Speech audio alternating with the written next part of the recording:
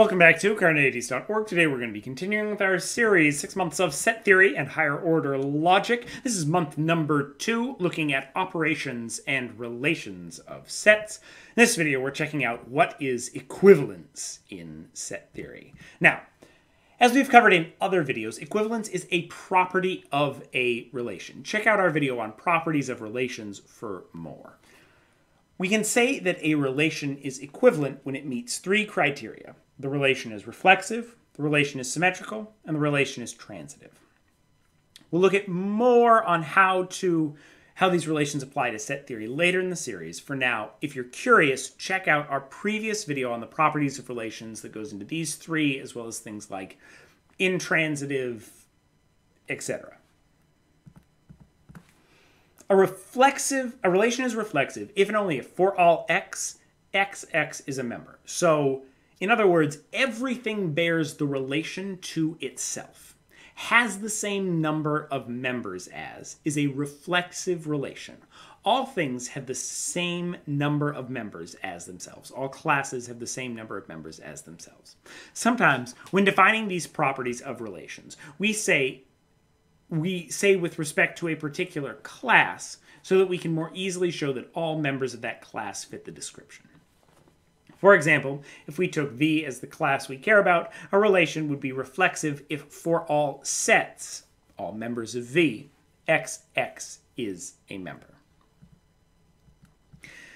Now, a relation is symmetric if and only if for all x and all y. If xy is a member, so is yx is a sibling is a, an example of a symmetric relation. If x is y's sibling, y is x's sibling.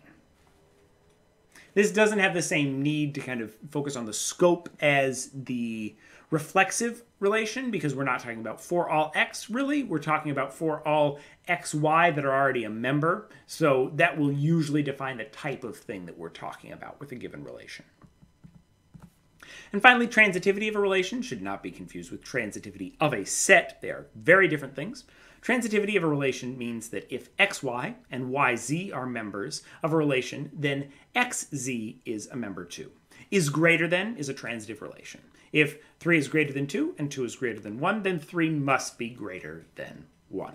Like I said, for more information and for more examples on these, check out my video on properties of relations. Finally, equivalence. We call a relation equivalent if and only if it is reflexive, symmetrical, and transitive, or more formally, where R is a relation and E means is equivalent. For all relations R, R is equivalent means by definition that R is reflexive, R is symmetrical, and R is transitive.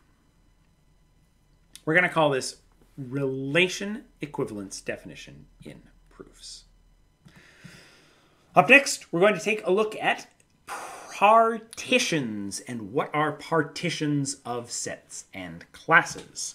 We're almost done with this month. It's been great. I hope you have enjoyed. We are coming up on the end, but we have four more months of set theory to go. In the next month, we're going to be looking at more at Peano arithmetic and how we can really start building the foundations of mathematics out of set theory now that we kind of have these good building blocks. So watch a video every single day for the rest of this month. Subscribe, hit the notification bell if you want to know when we're going to be doing our next month of set theory. It'll probably be a while, but it'll be there. Or just check out the rest of the videos on the channel while you're waiting.